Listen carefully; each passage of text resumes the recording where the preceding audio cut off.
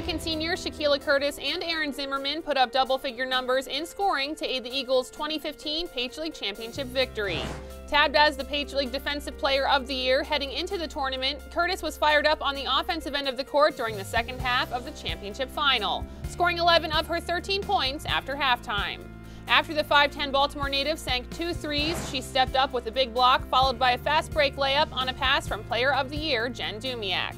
Curtis tallied 8 points and 5 rebounds in American's 60-53 semifinal win over Navy. She also put up 10 points and 3 blocks in the quarterfinal to help the Eagles cruise past the Lafayette Leopards 79-56. A staple for the Eagles defense, Curtis's energy and toughness on the court was a catalyst for their success in stopping the Lehigh Mountain Hawks in the championship final. We were swarming. You know, every time they caught the ball, somebody made a move, somebody else was there doubling, and we've been working on our defense for the last month.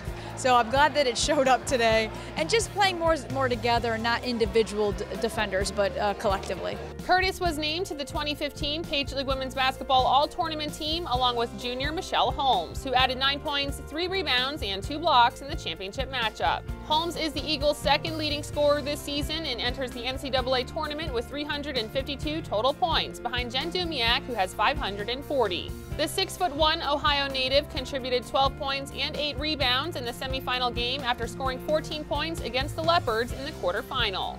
American will also look to senior forward Arron Zimmerman, who scored 12 points and pulled down 6 rebounds in the Patriot League Championship contest. She also tallied 11 points and 4 rebounds in the semifinal, plus she led the Eagles with 17 points and 7 rebounds in the quarterfinal. American will battle third-seeded Iowa in a first-round game of the NCAA tournament on Friday at 2.30 p.m. Fans can catch the action on ESPN2. For the Patriot League Network, I'm Melanie Pellowski.